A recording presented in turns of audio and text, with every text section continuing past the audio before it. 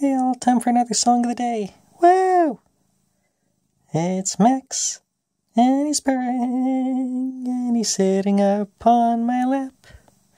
It's Max, and he's purring, he's going for a little nap.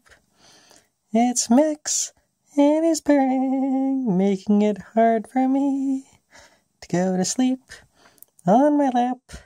How do you move with thee? Hmm, so I'm in a bit of a dilemma here. I'm about to go to bed, but uh, I have a purring kitten on my lap, so, uh, you know, what do you do? oh, goodness. Have a wonderful night, all. Meow.